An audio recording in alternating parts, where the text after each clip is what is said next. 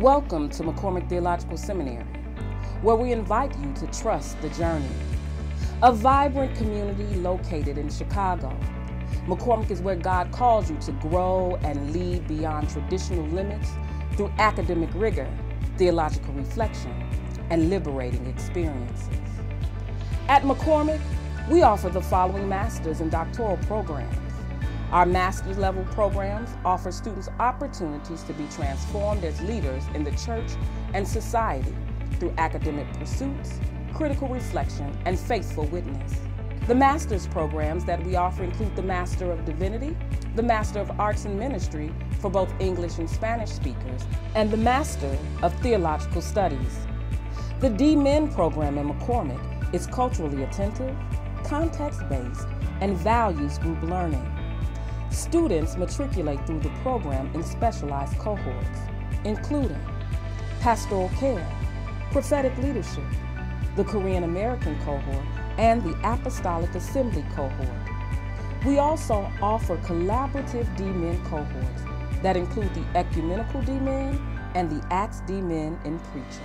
McCormick is also home to world-class faculty. Take a moment, listen to Professor and Dean of Faculty, Dr. Steve Davidson.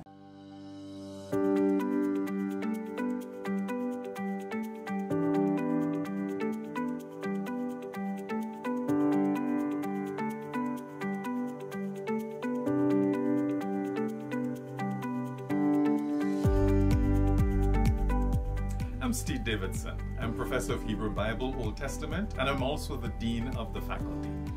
I came to McCormick at a critical time in my own life and professional development, but it was also an important time in the development of the institution. And I came and I saw an institution that was flexible, adaptable, always asking the questions what does it mean to be around at this time? What does it mean to be involved in theological education at this time? And I, I fit into an academic program that was asking that question and moving us in those directions. This school has continued to equip people to be the best that they can be wherever it is they feel challenged to work. And so we give students the kind of insights, skills, capacities, and the wherewithal so that they can serve the best way they know. This challenges me as a teacher because it means that I have to craft classes and class sessions to help students answer the strong questions. How to take theological traditions and theological resources that are as old as our thinking and make them adaptable and useful in a contemporary world. That's an exciting task for me as a teacher, and I try to make it an exciting task in the classroom.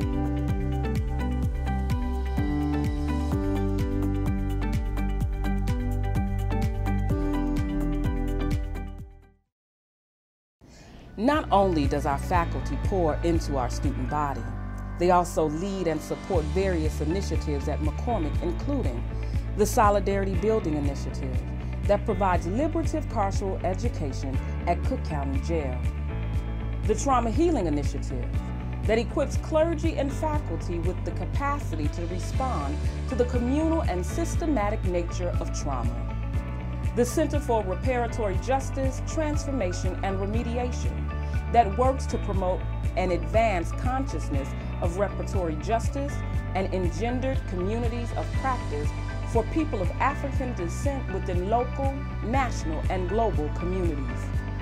Learn more about these initiatives and other faculty-driven initiatives by visiting mccormick.edu or scanning the QR code in the corner. Thank you for taking the time to learn more about our beloved vibrant community. Wondering if this is the right time for you? Listen to students who believe now is their time. My time here has been an incredible gift professionally and vocationally. My McCormick journey has moved me from being a person who was locked into one way of understanding Scripture into being a person with a more expansive view. We could tell the passion and the excitement that the students and the faculty and professors felt about seminary, and it was igniting and engaging.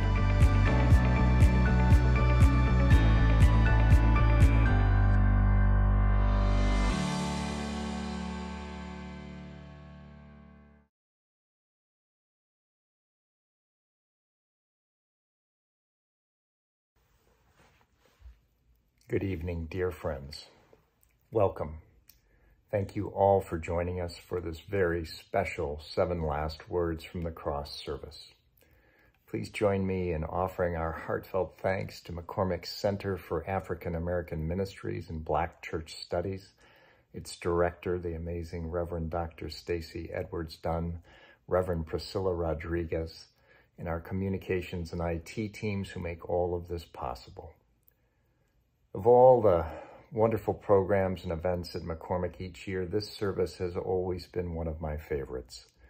Pre-pandemic, for more years than I can remember, this service was held at Pullman Presbyterian Church, where for 32 years, our alum, our mentor, our dear sweet friend, Reverend Dr. Eddie L. Knox Jr. served as pastor.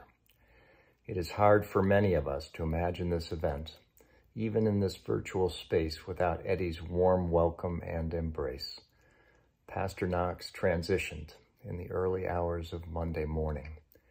In this Holy Week, as we anticipate the joy of the resurrection to come, we send our love and prayers to First Lady Linda Knox, Eddie's daughter, our friend and McCormick student Janine, the entire Knox family and the congregation at Pullman Presbyterian Church. Eddie, your presence and love surround us.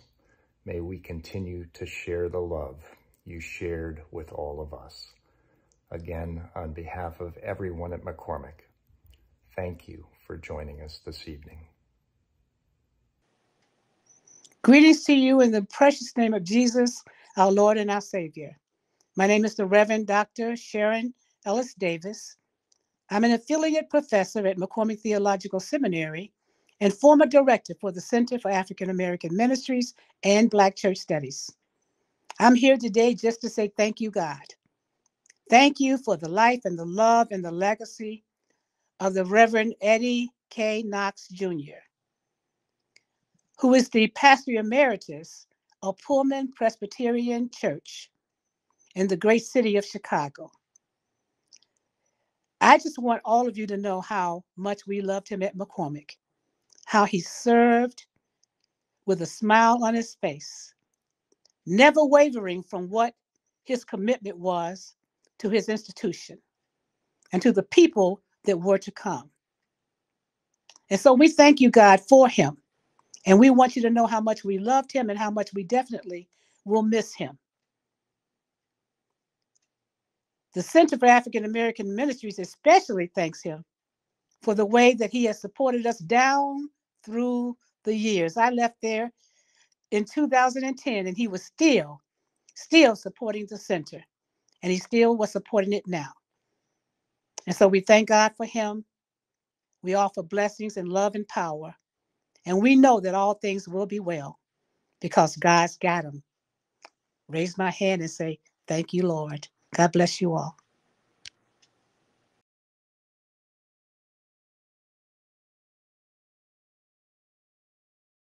Before we meditate the word of God, let's pray.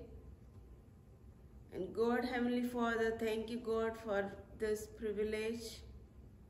Just we are going to meditate your word, what you spoken on the cross, that truly, I tell you, before you'll be with me in the paradise. We believe you, my God, you have died for us. You are ready to forgive our sins.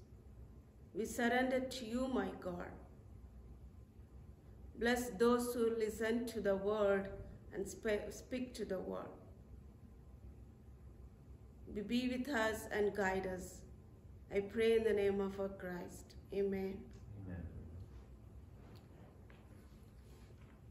Look at, let's read the chapter, Luke, verses 39 to 43. One of the criminals who hanged the herald insult at him, Are not you the Messiah? Save yourself and us. But another criminal rebuked him, Don't you fear God? He said, Since you're under the same sentence, we are punished justly, for we are getting what your deeds deserve, but this man had nothing wrong. Then he said, Jesus, remember me when you come into your kingdom. Then Jesus answered him, Truly I tell you, today you will be with me in paradise. Truly I tell you, today you will be with me in paradise.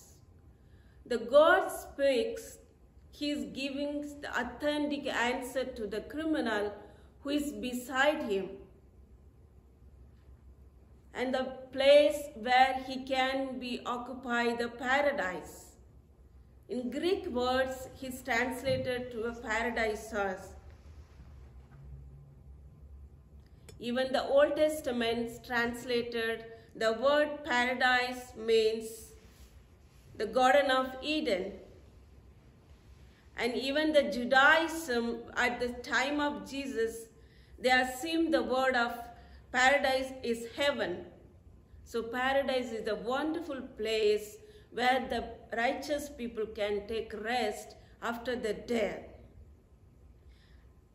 And the thing that even being a thief and hanging on the cross, the criminal thought that, that Jesus can forgive my sin and give me a place in the paradise. You and me realize that where we are standing, are we ready to ask forgiveness from Jesus? Do you have the faith in God? Hmm. Even though we have gone through so much that we traveled as we, our way can be a thorn or sin or terrifying, whatever the situation we came through, we come across, but do you have the heart to ask forgiveness to Jesus? Remember, the edge of the time when Jesus is going to die before hanging on the cross, as he is a fully man and fully God, he too has the pain and the thirsty and the shameless, sameness, everything he has, I mean, he is gone through in the cross mm. because of you and me. But even though he has the capacity to do as a God what he has to done in the world. And he is fulfilled the word of God. I mean, his father's commitment, what has to be done as it is in the heaven. I mean, through Jesus Christ in the earth. He's obey his father word and he loved the human as well as even he has pain and the thirsty as being a human. And the thing that when who one the thief who is hanging near the Jesus is watching everything that is going around him. People mocking Jesus, beating him, and crowning him in thorn, and so on. But the thief has and no idea who Jesus is, but he does know that the sentences of crime is in the day was to be crucified. He could have assumed that Jesus has committed to crime as well, but that is why he has crucified. But when here Jesus say, Lord, forgive them, the first word, the first statement, what Jesus has spoken in the cross. So according to that, what seeing all those things, the thief thought that the man of God can forgive me and give me the place in the paradise. So think of the today's life, friends. Are we ready to ask forgiveness? God is ready to forgive us. He has taken all our sin upon him and died on the cross in our places. So no matter what our sins are, who are we, God willing to forgive our sin and give us an eternal life after- death. According to Luke chapter 16 and verses 19 to 31, after a death we can go heaven or hell. If we're ready to confess our sin, truly God is there to forgive our sin. To the one who is victorious, I will give the right to eat from the tree of life, which is in the God's paradise. Says Revelation chapter 2, verse 7 Who is in the victorious person? Anyone who is washed in Jesus' blood is called victorious. Therefore, let us confess our sin, be washed in the blood, and receive the right to eat from the tree of life how the criminal has used the opportunity to get forgiveness from Jesus. Use the opportunity as we are being in the world and we have enough time to ask God forgiveness.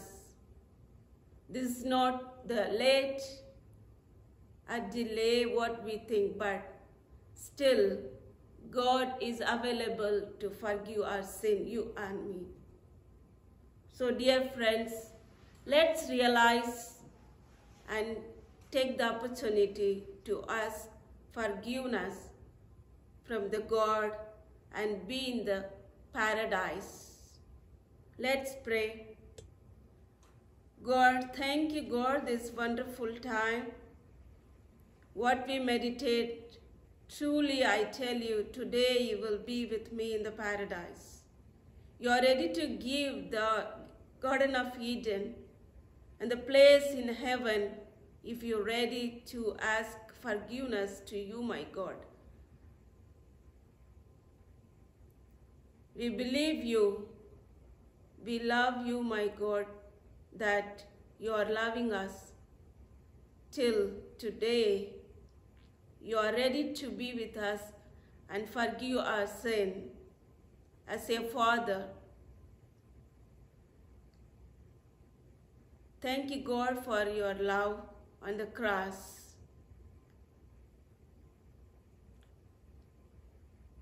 We pray in the name of our Lord and Savior Jesus Christ. Amen.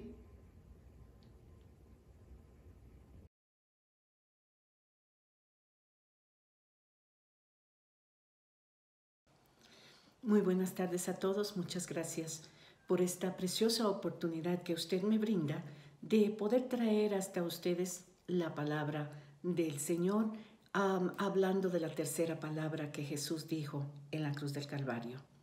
He titulado este pequeño mensaje, Desde entonces este discípulo la recibió en su casa. No puedo pensar realmente en otra escena en las escrituras que hable con más afecto al corazón de una madre que cuando Jesús pronunció estas pocas palabras en sus labios secos. Mujer, aquí tienes a tu hijo. Juan 19, 26. Seas madre o no, este texto nos revela el clamor, las lecciones y el legado de la última intercesión que tuvo Jesús con su madre antes de su muerte. Esta es la tercera palabra de Jesús pronunciada desde la cruz el día que fue crucificado a causa de tus pecados y los míos. Jesús no se dirige a su madre como madre, sino como mujer, traducida apropiadamente como querida mujer por la nueva versión internacional. Podríamos sentir un poquito de frialdad en el término tal como se usa en nuestras culturas. Pero en la cultura de Jesús era perfectamente apropiada que un hombre se dirigiera a una mujer de esa manera. Pero aún así era extraño que un hijo se dirigiera de esa manera hacia su madre. Yo creo que la razón de este discurso, hablando un poquito más formal, creo que Jesús tuvo la disposición de hablar de esto para pretender que sus palabras se entiendan como una disposición testamentaria formal bajo las familias judías. Jesús una vez más nos demuestra el amor y la responsabilidad por su prójimo. Aunque su prójimo en este momento no era su vecino o la vecina de al lado, sino la mujer que fue usada como instrumento para ser engendrado y nacido para su propio uh, propósito redentor. Vemos entonces cómo el amor que hay en las palabras que se expresan tal vez no con mucha emoción por el momento en que el Hijo del Hombre estaba pasando, pero palabras que han marcado la humanidad a través del cuido de Jesús. Y ese cuido que Jesús mostró a su querida madre, dejándole al cuido de su discípulo amado.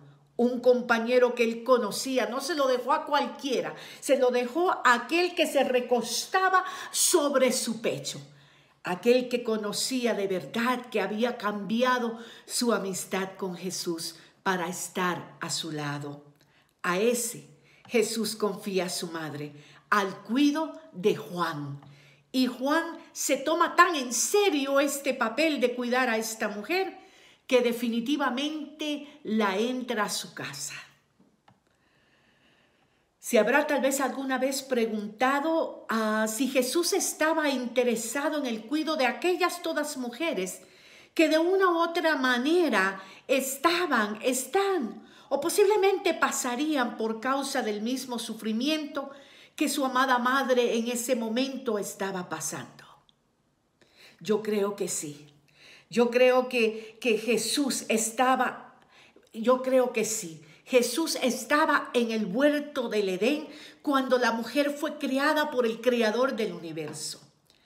Y una vez más Jesús se encuentra en el destino de la mujer, aunque esta vez muy diferente porque se trataba de la progenitora terrenal y él lo sabía muy bien.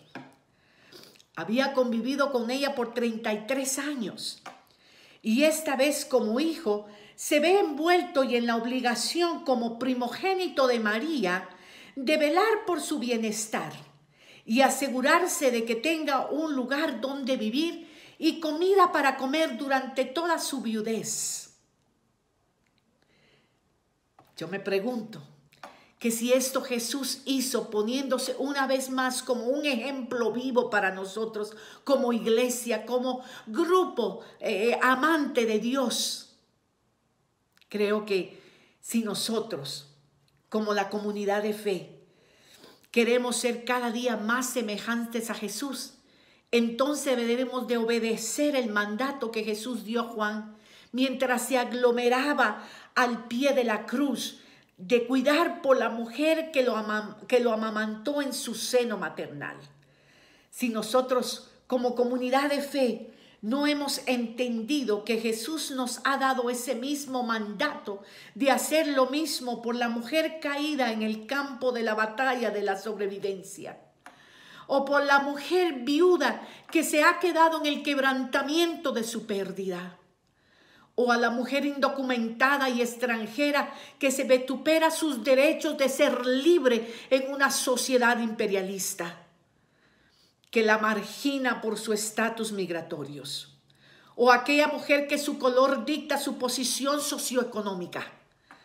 Como comunidad de fe estamos soltando la responsabilidad de atender la necesidad del tráfico infantil, sobre todo de niñas que crecerán en la esclavitud del sexo, perdiendo ah, su inocencia y el derecho de ser niñas a una edad temprana o en esos lugares como Afganistán, por ejemplo, por la inaniación y la pobreza que se vive en ese lugar, se ven obligados como madre y padre a vender a sus niños, a sus bebés, especialmente a las jovencitas, para que tengan más posibilidad de vivir. Jesús nos dice hoy como comunidad de fe, comunidad, he aquí tu madre, recibámoslas en nuestra casa. Porque si callamos como comunidad de fe, entonces estamos a favor de la injusticia que se vive en el mundo entero. Seamos más atentos a la necesidad de una comunidad que clama a través del sufrimiento que le llevas a la casa de la injusticia y no a la casa del amor que Dios nos dijo que teníamos que tener hacia nuestros semejantes. Necesitamos amar a nuestros semejantes como a nosotros mismos. Y así ayudarles a la comprensión del porqué de las cosas. Nuevamente pronuncio el día de hoy las palabras que Jesús dijo cuando estaba a punto de morir, crucificado en esa cruz por mis pecados y por tus pecados. Comunidad de fe, he aquí tu madre, cuídala.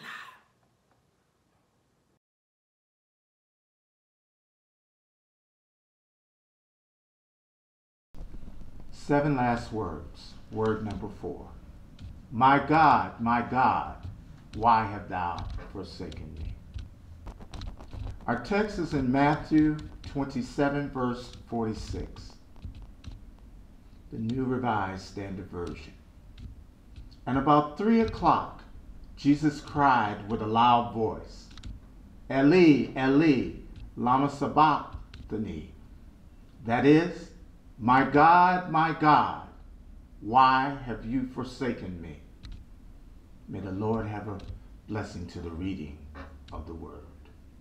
The title for today is Jesus' purpose greater than his pain.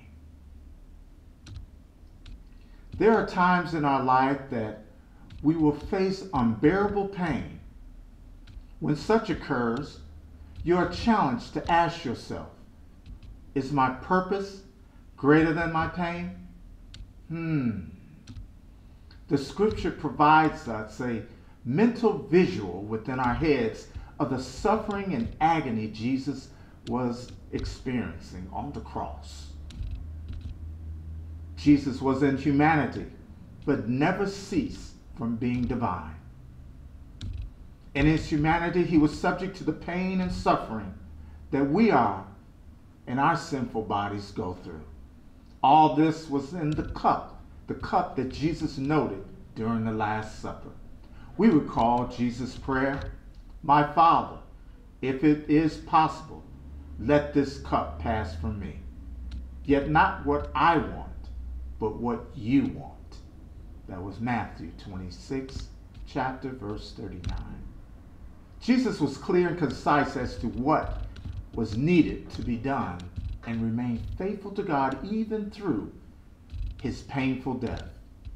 Eli, Eli, lama, Eli, Eli, lama sabachthani, which is a pronominal suffix, a short suffix, meaning thou hast left me, abandoned me, a cry of distress. The cry is recorded in St. Matthew's and St. Mark. Its absence in St. John's narrative was probably since John had taken the Virgin Mother from the scene of the crucifixion, as that was too much for her to bear. So follow me as we explore Jesus' purpose greater than his pain. This is demonstrated in two points knowing your purpose enduring the pain. And knowing your purpose, let us first establish that our purpose is not given by humanity. It is given by God. When your back is against the wall, it is your purpose that helps you persevere. If your purpose is given by humanity, it is temporal. But when, your, when our purpose is given by God, it is eternal. So I ask you, do you have a purpose? What's driving your purpose? Are you being led by God Almighty or some idol that is temporal? So when you know your purpose, you walk, your walk is different. Your talk is different. Your focus is different. When you know your purpose, your preparation is different. Much of the things you do and the things that you say are aimed at achieving your purpose in God. Enduring the pain is a byproduct of achieving your purpose. So your purpose must be greater than your pain for you to continue to proceed in your purpose in God. This is where you are stretched in accomplishing your purpose. Jesus is teaching us in the last hour, this last moment, that your purpose in God must be greater than your pain. God, I ask for your strength. I ask, as we did in the Apostle Paul states, God, give me the mind of Christ so that I too may have purpose beyond my pain. That what may come, that I will be able to handle so that I can achieve my purpose in you. Jesus cried out, Eli, Eli, lama sabachthani, my God, my God, why have you forsaken me?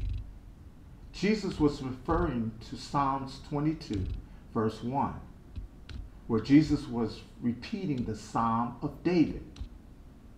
And Jesus is showing us that when we go through despair, when we go through hurt and pain and suffering, rely on the scripture, repeat the scripture, speak the scripture. David was, David was referencing why God was so far from helping him as he was groaning. This groaning is denoted as a deep, inarticulate sound conveying pain and despair. Jesus was exhibiting this pain, this same sense of pain and groaning, and maybe that is why Jesus referenced the Psalm of David. He was the sacrificial lamb. His life saved all of humanity. So I live today because Jesus died on the cross and because all the pain, the suffering, the agony, despair that Jesus experienced was all for the sins of you, you, you, and me. It was for all of us. Now we don't have to wait until the battle is over. We can shout right now. For God so loved the world, he gave his only begotten Son, so that everyone who believes in him may not perish, but have eternal life. Thank you, grace. Thank you, mercy. Thank you, Jesus. The text connection is to the death of Christ, transformed to eternal life for humanity.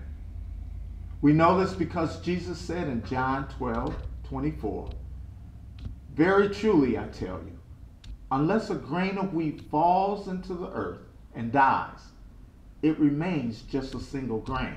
But if it dies, it bears much fruit. So in Jesus' death, we live. In Jesus' death, we are returned to our kinship, our friendship, and our fellowship with God. Because of Jesus' death, we can shout hallelujah. We can shout thank you, Jesus. We can shout glory to God and say, Jesus, thank you for saving me. Jesus, your blood still works. Jesus, you are our Redeemer. Jesus, you are our Savior. Jesus, you are a wheel in the middle of a wheel. Jesus, you are the first and the last. Jesus, you are the Alpha and the Omega. So, God, we thank you for your grace. Thank you for your mercy. And we will magnify you, glorify you, lift you up, and give you all the praise and all the honor and all the glory. For now we see that our purpose in you is greater than our pain. My brothers and sisters, let us go in peace and continue in our purpose in God. For our purpose in God should always, should always be greater than our pain.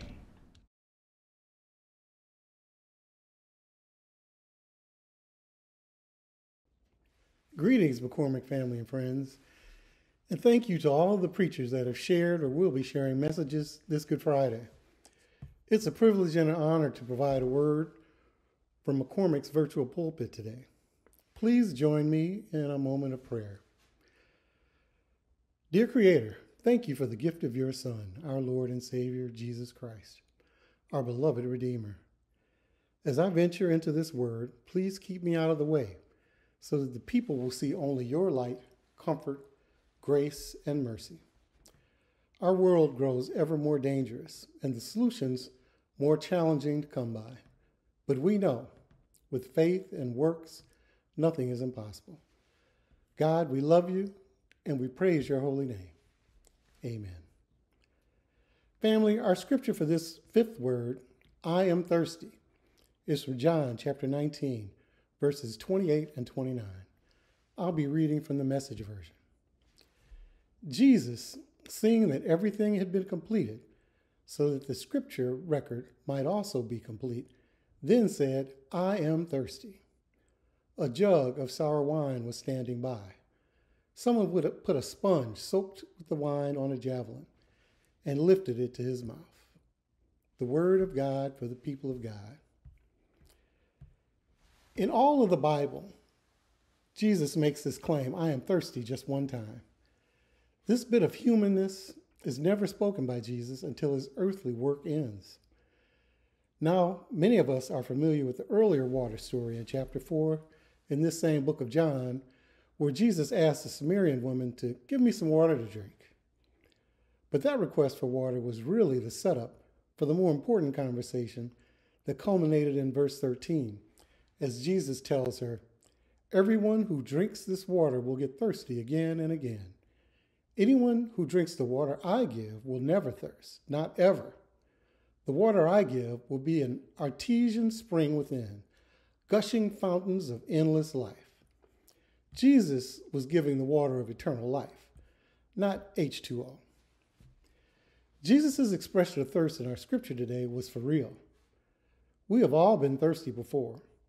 The thirst we experience after a particularly challenging expenditure of energy, perhaps on a basketball court, a run, jog, even a long walk can be intense as our body demands a resolution to the loss of water.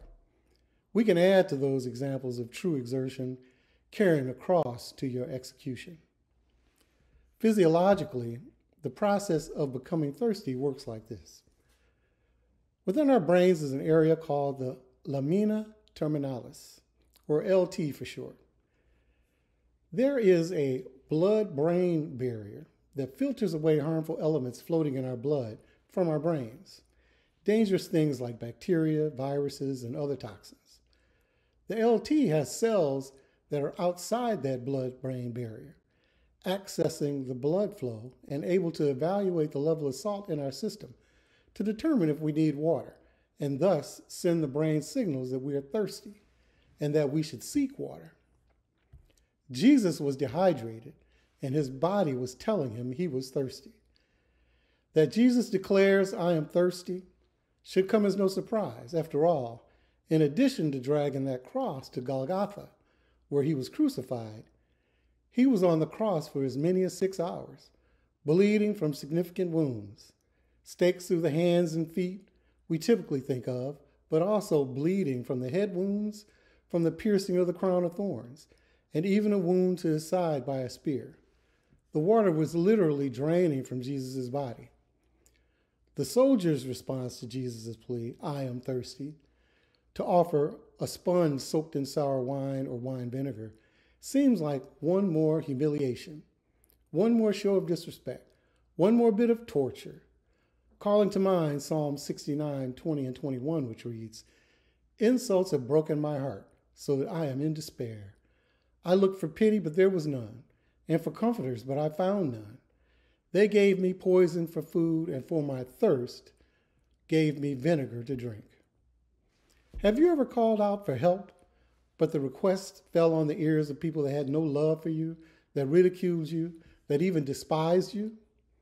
Maybe it was in school. Your request for help was met with disdain because the teacher had an implicit bias due to your color or your weight or your accent or your unwashed clothes. They had low expectations of you and thus were less willing to spend time helping you to keep up. Maybe it was at work. You had an issue with a coworker talking to you inappropriately, and you raised a concern with your manager. even escalated it to your HR department. And the end result was you being moved and even being branded as a poor team player. Or maybe it was in a hospital. So often, marginalized women, men, and children are not provided the same level of care as that of the privileged. Less effective treatments being provided, older or cheaper treatments. Maybe you were sent home too early after surgery, or you may have had a limb amputated when there were other options available. Research has found all of these circumstances to be real. When marginalized people call out for help, just like Jesus, instead of the water they need, they often get vinegar. Jesus on the cross, still aware but weakening, his humanity in evidence as his body is shutting down. Jesus calling softly to his torturers, I am thirsty. His declaration floating among people who despise him. Jesus provided with sour wine and vinegar. When we are thirsty, drinking fluids releases dopamine, a chemical that, when released in our brains, causes us to feel good. Any fluid can elicit this response, even those that are not particularly good at relieving thirst. And for Jesus, the vinegar, instead of causing additional distress, meets his need as acidic liquids still wet the mouth and give the body the impression of hydration, stimulating a strong saliva response. The wine vinegar provides him with the moisture needed to make his final proclamations, allowing Jesus to fulfill his mission among us and fulfill the scripture. As Joseph said, You planned evil against me, but God used those same plans for my good. Jesus, in making his declaration, I am thirsty, among his enemies, provides a lesson for us. Just because we are among people that may not like us, we must still speak up. We must make our needs known, even in the midst of those that are apathetic or adversarial. We must speak up even in our pain, suffering, and sorrow. Silence is not an option. Our friends aren't the only sources of support and assistance and we must avail ourselves of the resources needed to improve our situation and the circumstances of our loved ones and communities. Family, when Jesus was breathing his last breaths, when his work was almost done, he had a bit more to say, and he let the soldiers around the cross know, I am thirsty. And they responded with what they thought would further impair him, but it was what he needed. God turned evil to good even at the cross. And God will do that for us. When your child isn't getting the attention they deserve in school, speak up. Tell the teacher, tell the principal, go to the school board if you must, but do not suffer in silence. Your voice may result in policy changes that affect many children for the better. As we receive medical attention for our ailments, speak up. Ask questions of the physicians. Take notes Research your options, get second opinions, share your outcomes with family and friends. There is wisdom in the room, but only if we share. Moving through the world, we witness so much of what's wrong with our world. A young woman being mistreated by a store clerk, a village of the homeless on an expressway service drive or under a viaduct, a street of boarded up businesses, young men hanging out on street corners with no outlets for their imaginations to be exercised or their potential to be nur- nurtured. Speak up. Alice Walker reminds us in her poem, To Change the World Enough. Quote, We must walk together without fear. There is no path without us, unquote. Beloved, when we are thirsty, say it. Speak up. God bless you.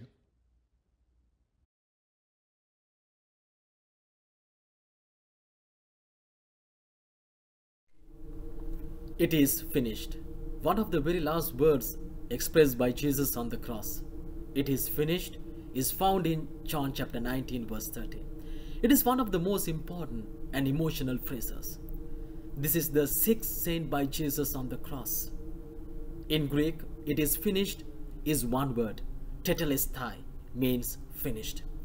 The phrase it is finished refers to the completion of Jesus' pain for the sins of the world.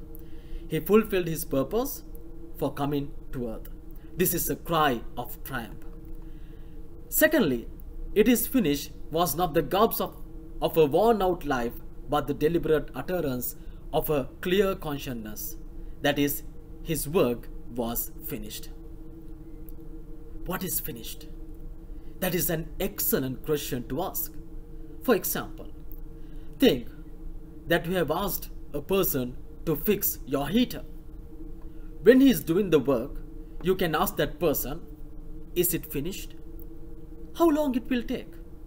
The, per the person might respond and say, it will take some time. But after a few minutes, he will come and tell you, my job has finished. It is finished. My dear people of God, did Jesus do the same? God had a purpose for Jesus. After Jesus accomplished that purpose or the work, Jesus said on the cross, It is finished. We'll keep that question aside for a while. I have a question for all of you. Why did Jesus come to this world? I know we have many reasons, we have many answers. I have nine answers. Firstly, Jesus came to fulfill the law. St. Matthew chapter 5 verse 70. Jesus came to divide. St. Luke chapter 12 verse 51. Jesus came to call sinners. Mark 2 verse 17. Jesus came to serve and to give his life. Mark 10 chapter 45. Jesus came to proclaim the good news. Luke chapter 4 verses 18 and 19. Jesus came to seek and save the lost. Luke 19 verse 10. Jesus came to do his father's will. John 6 verse 38. This is very very important. I will read that. I will read out that verse for you. For I have come down from heaven not to do my own will but the will of him who sent me. Eighthly, Jesus came to give abundant life. John 10 verse 10. Finally, the last thing for me the ninth one, Jesus came to bear witness to the truth. John 18, verse 37. All these reasons are correct. Jesus came to fulfill the law, call sinners to serve, seek, and serve the and save the lost, and give abundant life. Yes, yes, yes. All are true. But what is the main reason for Jesus to come to this world? in my point of view, to proclaim the kingdom of God. I believe that is the main reason for Jesus. I'm not saying others are incorrect, all are correct, but the main reason is to proclaim the kingdom of God. According to Luke chapter 4, verse 43, it says, But he said, I must proclaim the good news of the kingdom of God to the other towns also, because that is why I was sent. Because that is why I was sent to proclaim the good news of the kingdom of the God. In this passage, Jesus proclaimed the good news of the kingdom of God. That is why Jesus came to this world. My dear people of God, before the arrest of Jesus by the Romans, Jesus prayed his last public prayer where he asked the Father to glorify him even as he had glorified the Father. He prayed to finish the work you have given me to do in John chapter 17 verse 4. It says, I glorified you on earth by finishing the work that you gave me to do. I believe that Jesus prayed to Abba Father before everything. Jesus prayed to Abba Father before everything. God gave his beloved Son to this world that the world believes in him and may not perish but have eternal life. My dear friends, Jesus did his part in this world. He proclaimed the kingdom of God. He taught the values of the kingdom. kingdom. One more important thing, Jesus teaches his disciple for the future mission. Why am I saying it is important? Because They are the ones who started the mission after the resurrection of Jesus. My dear people of God, now on the cross, Jesus is saying, Father, you sent me into this world for a purpose. I did that according to your will, but the world did not understand it. It is finished. In the sermon preached on April 5, 1998, Reverend B. Gritter says, It is finished is a shout of victory. He further says, So in his very last words, Jesus is in complete control. No one had more control over his death and dying than Christ did. Father, now it is finished. Now I commit my spirit unto thee. For Reverend Gritter, it is a cry of victory. My dear friends, you may sit at peace today.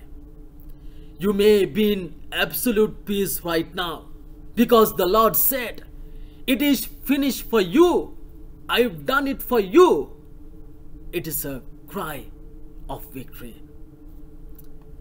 As thou, as thou now is going, goes to heaven and leaves the rest of salvation up to you based on your will and your works and your reaching out to him by your ability. In that what he means. Reverend Gritter clearly says, I've done my part and I go my way. Jesus saying, I've done my part and I go my way. Now you do your part. Now you do your part. My dear people of God. Yes, Jesus has done his part. Now it is time to do our part. Jesus made a sacrifice for you and me that no one else would do.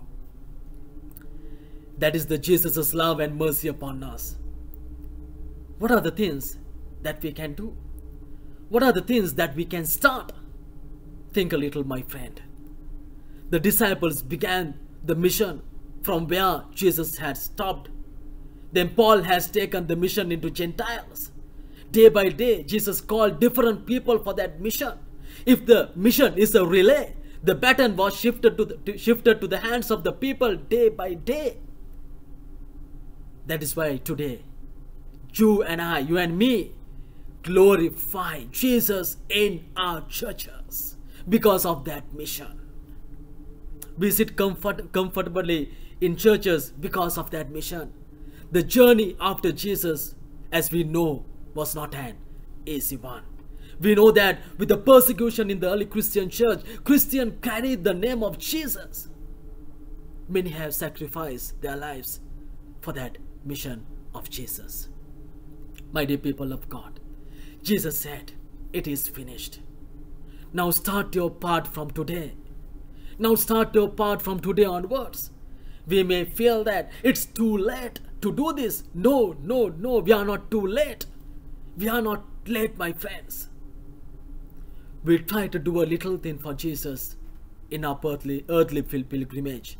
Once we do that, we can say, we can say to Almighty Jesus, we can praise and say, Lord Jesus, it is finished. So, what are the things that we can start? I suggest you start from where you are. Look at your surroundings. Look at your neighborhood. Think about your workplace. If children are listening to this sermon, think about your school. Think about your friends. The Lord has put you in those places because we have a work, you have a mission to do, mission to accomplish from those places. That is what I believe. Start today. Think about the people who do not know about Jesus. Jesus Jesus' love for them. Have you ever prayed for them? Jesus rejoiced in the kingdom of heaven over one who accepts himself. Have you, have you ever been able to do that? According to Rick Warren, before you were born, Jesus had already planned your life, your country, your state, your city, your street, your address, your skin color have been planned by Jesus. Because Jesus wants you to do something from Him, from that place, from where are you? My dear people of God, at least start, start one thing for God and tell one day, Jesus, it is finished. I will give you some examples. You can tell others what Jesus has done for you. Share God's words with others, other people. Tell them about God's love and Jesus' sacrifice. Send, spend time with other believers. Spend, spend time with them. Listen to their problems and be there when they need you. As they see Jesus working in your life. They may be more curious to learn more about Jesus. I'm not saying I'm not saying to convert them, but challenge them through your life examples. Again, I'm saying I'm not saying to convert them. I'm not saying that, but challenge you from through your life examples. Tell them that Jesus loves them too. Finally, what I said may be hard for you to do. But you can pray to Jesus and ask, Jesus, I know you died for me. Please show me one thing that I can do for you. I need to do one thing for you because before I die, I need to do one thing for you before I die. And I, and I, and I want to say, it is finished. Amen.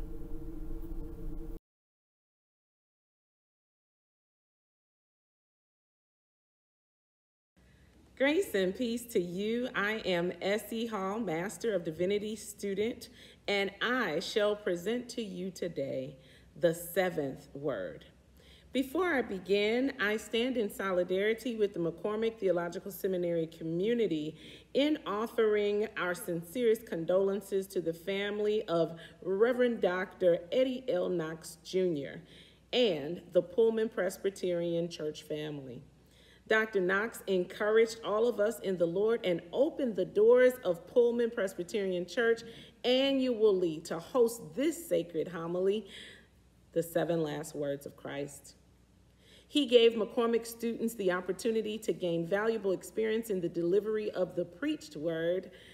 We honor his legacy today and thank God for his witness that has shaped students' long before and will continue to impact generations to come. To God be the glory. And now, the seventh word. I will be reading the King James Version of Luke 23, verse 46. Hear the word of the Lord. My sisters, my brothers, and all of my siblings beloved, there are times in this life when trouble gets in your way.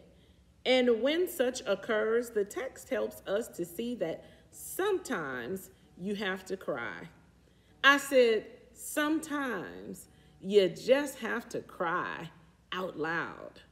Pray with me on this subject trouble in my way. Let us pray. Almighty God, our Father, Almighty God, our Mother, Almighty God, our all in all. Right now, Lord, speak that we may come alive through Jesus Christ our Lord. Amen.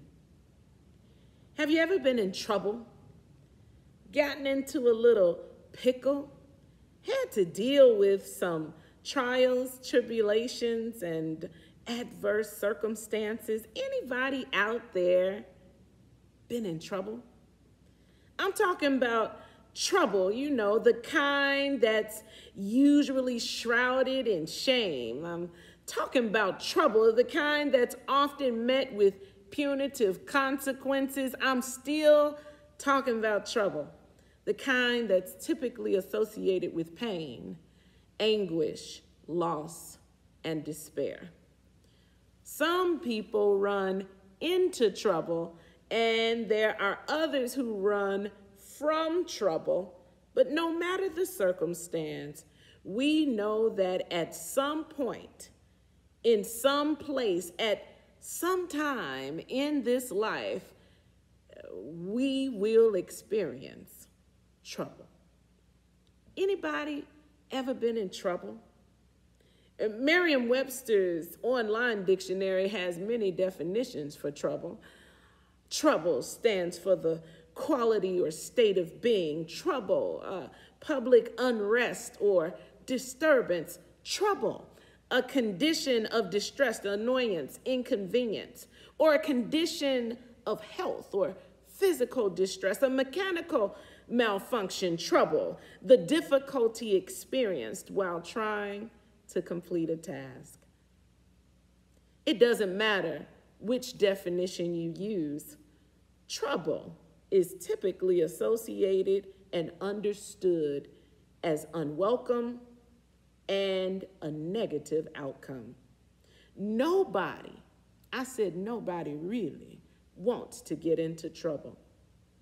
Unless that is you're John Lewis, civil rights activist and politician now seated among the ancestors who coined the term good trouble. Representative John Lewis devoted his life to racial justice and equality. He worked for decades as an activist and organizer for justice and marched in lockstep with the likes of Reverend Dr. Martin Luther King Jr.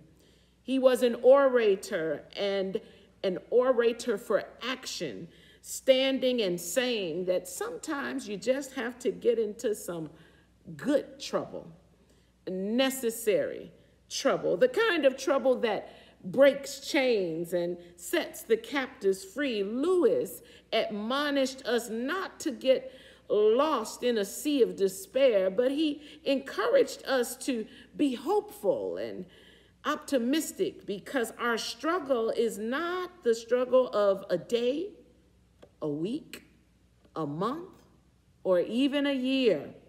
It is the struggle of a lifetime. And we should never, ever be afraid to make some noise, to cry out loud, and get into good trouble, necessary trouble. You see, I believe that even Reverend Dr. Eddie Knox Jr. also knew something about this kind of trouble.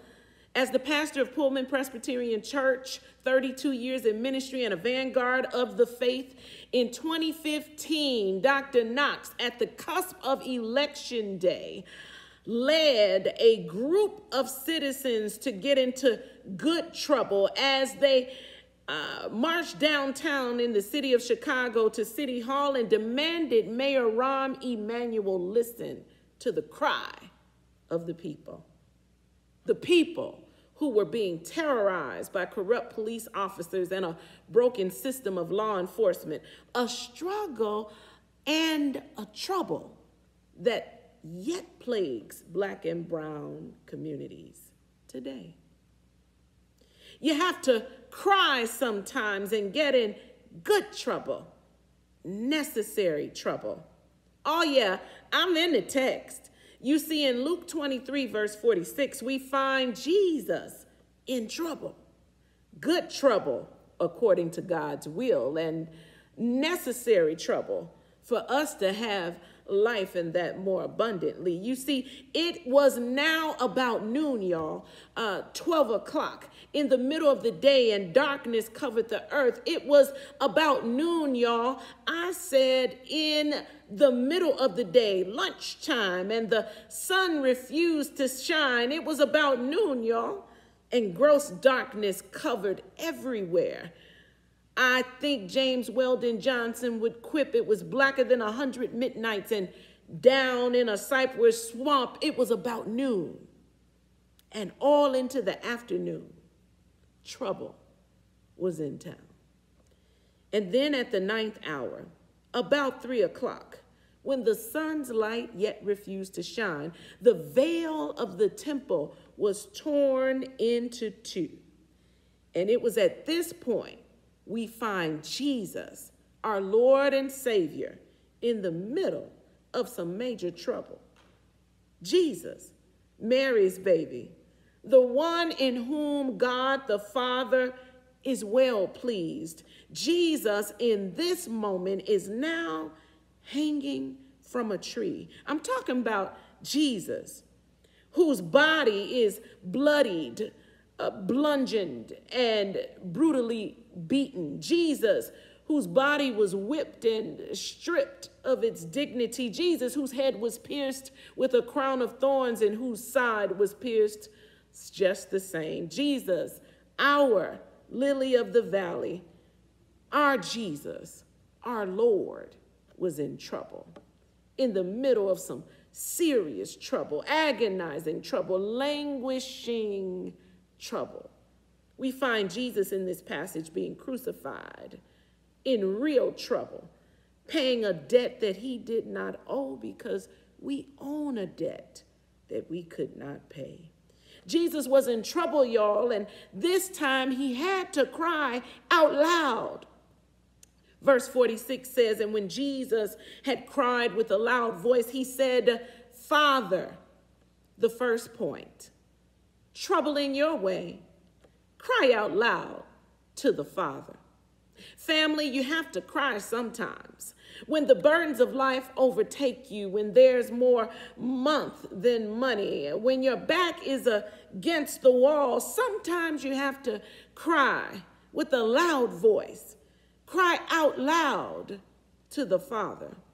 And when Jesus had cried with a loud voice, he said, Father, into thy hands I commend my spirit. The second point trouble in your way, put it all in his hands. Right here in the text, Jesus not only put his trouble in God's hands, but he even commends his spirit there also. In other words, Jesus entrusted God to protect and preserve all that he had in the middle of his trouble. What about you today? Is trouble in your way? Then put it all in his hands, whatever the trouble, whatever the problem, this and that, put it all in his hands. And when Jesus had cried with a loud voice, he said, Father, into thy hands I commend my spirit. And having said thus, he gave up the ghost. The third point trouble in your way, give it up. If you put it all in his hands, then leave it there. Jesus gave up the ghost. He breathed his last breath. He allowed his spirit to return into the loving and capable hands of our Father and did not look back. Similarly, we ought to cast our trouble upon the altar of the Lord and do not look back. I have decided to follow Jesus and his example. No turning back, no turning back. Family, is there trouble in your way? Problems got you down? Be encouraged, for I know a man who carried our troubles and is familiar with our grief. And he was wounded for our transgression. He was bruised for our iniquities. The chastisement of our peace was upon his shoulders, and by his stripes we are healed. That's what Jesus did. Got trouble? Get Jesus. Because Jesus knows all about our trouble, and he will guide till the day is done. Is trouble in your way? Cry out. Cry out loud to the Father. Put it all, all of your troubles in his hands and give it up. Leave your troubles in God's hands. And when Jesus had cried with a loud voice, he said, Father, into thy hands I commend my spirit. And having said thus, he gave up the ghost. Let us pray. Father, I stretch my hand to thee, no other help I know. If thou withdraw thyself from me, O whither shall I go? Lord, we may have to cry sometimes. Teach us to trust you with our troubles and leave them in your hands. Through Jesus Christ, our Lord. Amen.